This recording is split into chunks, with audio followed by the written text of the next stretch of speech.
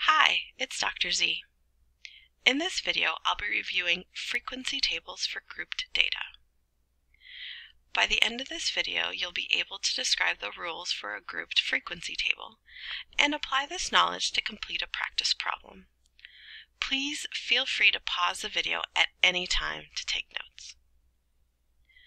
Frequency tables are a part of descriptive statistics.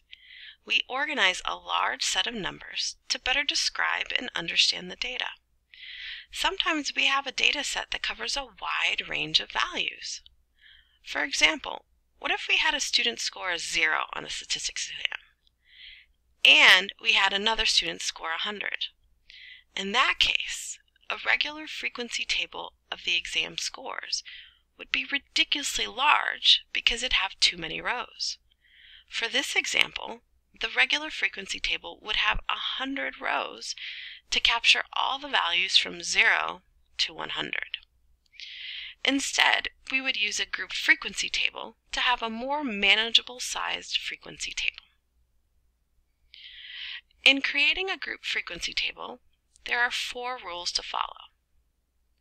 First, a grouped frequency table should have about 10 intervals. Interval is just a fancy word for groups. Get it? A grouped frequency table? So the table should have about 10 groups. Second, each interval or group should be a simple number, which is typically 2, 5, or 10. If we selected an interval of 2, then the group would only have two values in it, such as 0 to 1, because 0 and 1 are a total of two numbers. If we selected an interval of 5, then the group would only have five values in it, such as 0 to 4, because we have the values of 0, 1, 2, 3, and 4, which is a total of five numbers.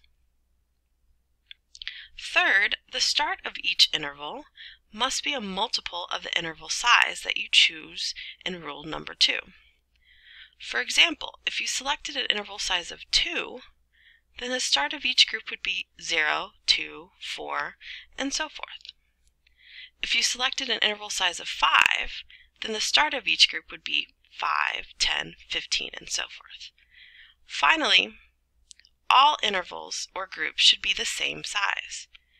In other words, once you've selected an interval size of 2 for your table, you cannot change your mind and then switch to have an interval size of 5 for the rest of your table.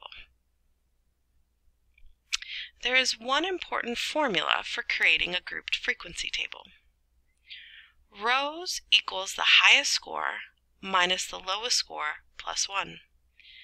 In other words, you take the highest score in your data set, subtract from the lowest score, and add 1.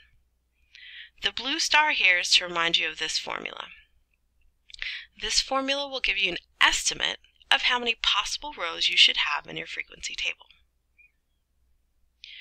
I would like to summarize the steps in creating a group frequency table. You will notice that the steps tend to correspond with the rules we discussed earlier. First, calculate the possible rows that you might have in your frequency table using the formula we just reviewed. Second, decide on the size of the interval. You will select either 2, 5, or 10, which refers to rule number 2. Third, decide on the interval for your table that includes the lowest score of the dataset. This step refers back to rule number 3. This first interval or group should be a multiple of the interval size that you selected in step 2. Fourth, create all the intervals or groups you need based on the interval size that you selected that will take into account all the values in your dataset. Now that we've reviewed the rules and steps to creating a group frequency table, are you ready to practice your new knowledge? I have one practice example for you to review. The lecture example is asking us to practice descriptive statistics. We need to create a frequency table that organizes and summarizes the ages in a statistics course. The ages vary from 18 to 55. Do we want to create a fre frequency table with rows from 18 to 55? The answer is probably not. So let's get started. Step 1 is to calculate rows using the formula we discussed earlier. So 55 minus 18 plus 1 equals 38. In other words, a regular frequency table would have 38 rows. That's way too big. Clearly we need to make a grouped frequency table. Step 2 is to decide whether we will select an interval size of 2, 5, or 10. In order to do this, let's create a simple table to keep us organized. We have three interval sizes, and we need to know the number of intervals needed to cover a range of 38 points, or 38 rows. We will simply divide the number of possible rows by the interval size to determine how many possible intervals or groups the table could have. So let's start with the first one. 38 divided by an interval size of 2 gives us 19 intervals or 19 groups, which according to rule number 1 is too many. 38 divided by an interval size of 5 gives us 8 intervals, which meets rule number 1. Just in case, let's check our last option. 38 divided by 10 gives us 4 intervals, which is too few of intervals. So we will select an interval size of 5 for creating this table. Step 3 is to decide on the first interval or group. Since ages range from 18 to 55, then 18 is our lowest score in the data set. Recall that rule number 3 states that interval must be a multiple of the interval size. So, we cannot start our interval at 18. We have to start at 15, which is a multiple of 5.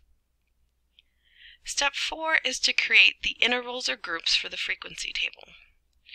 Recall that rule number 4 states that the intervals should be all the same size. So if we start with 15 and have an interval size of 5, then the first interval or group would be 15 to 19. This interval has the values of 15, 16, 17, 18, and 19, which is a total of five numbers, or the size of the interval we selected. Now, let's review what the final group frequency table would look like. The intervals or groups are listed under age. There needs to be enough intervals to cover the entire data set. Since ages varied from 18 to 25, the table needs to have an interval or group that includes 55. In this case, we need to add one more interval of 55 to 59 to include 55. If you count the total number of intervals or groups in this table, there are nine total intervals. This number is more than the eight we predicted in step two. This is totally fine. We always need to make sure that the data set is accurately represented, even if we need to add one more interval or group to the table to make it happen. In summary, frequency tables are a feature of descriptive statistics, where we need to organize and summarize the data. Learning how to create a grouped frequency table is one of the many LEGO building blocks needed to understand statistics.